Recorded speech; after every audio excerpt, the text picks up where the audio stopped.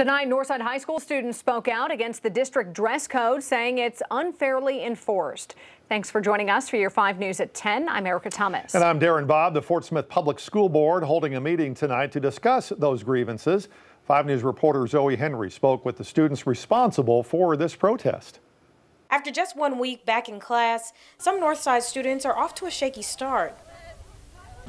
Personally, I've been having problems with the issue for I don't know how long. It wasn't really an issue my first year at Northside or really the second, but it got more strict this year.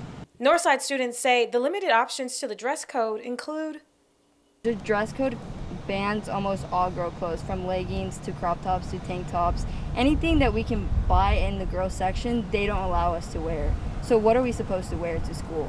A question they were hoping to get answered at Monday night's meeting. But the meeting ended almost as quickly as it started. At 5:30, students and staff filed into the Fort Smith School Board building.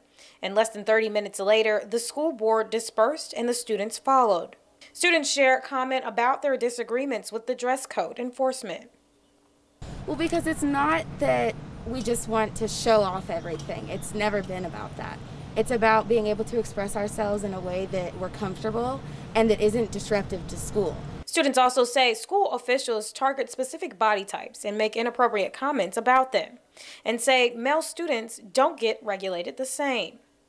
And the students claim it's not just about gender discrimination, but also about racism, and that the issue goes deeper than the clothes could ask some of the NHS students that they will tell you, yes, because I am white, I will not get dress coded because the teachers see me and they don't see a problem with what I have on. The board says it can't engage in the debate, but will take the students' thoughts into consideration.